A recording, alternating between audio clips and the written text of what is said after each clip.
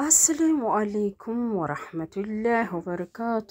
ውድ አሊ ቻናል ቤተሰቦች፣ ውድ ሀገሬ ልጆች እንዴት ናችሁ? ደህና ናችሁ ወይ? ሁላችሁንም ሰላም ብያለሁኝ። በያላችሁበት ሰላማችሁ ይብዛልኝ።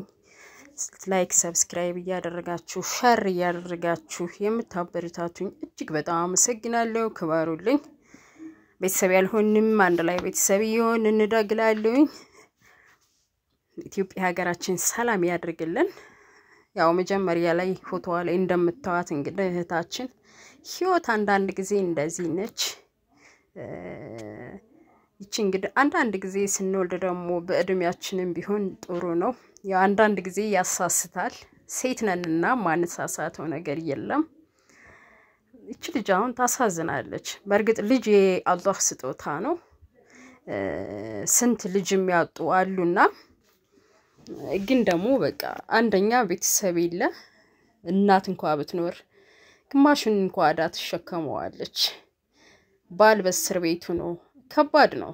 ህይወትን እንደዚህ አድርጎ መምራት በጣም ይከብዳል። ህይወት ፈተና ነች። ብዙ ችግር፣ ብዙ መከራ ያጋጥማታል።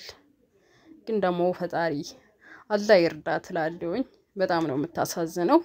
ሁለት መንታ ልጆች አንድ ላይ ማሳደግ ማለት በእሷ እድሜ የአስራ ስምንት ዓመት ልጅ ነች። እንግዲህ ይሄንም ማሳደግ ማለት በጣም ከባድ ነው። ብቻ ፈጣሪ ይርዳት። እውነት በጣም አሳዘነችኝ። ሴት ልጅ ስንባል መከራችን ብዙ ነው። ብዙ መከራ ያልፍብናል። በእርግጥ ልጅ ደግሞ የአላህ ስጦታ ነው። አላህ ልጆቿን አሳድጎላት ትልቅ ደረጃ ያድርስላት። እሷንም የሚረዳት ይሁኑ ላለውኝ በቃ በዚህ እድሜ መሸከም ከባድ ነው። ብቻ ሰላማችሁን ያብዛልኝ። አሁንም subscribe፣ share እያደረጋችሁ ነው የምታበረታቱኝ። አመሰግናለሁ። ክበሩልኝ። ኢትዮጵያ ሀገራችን ሰላም ያድርግልን።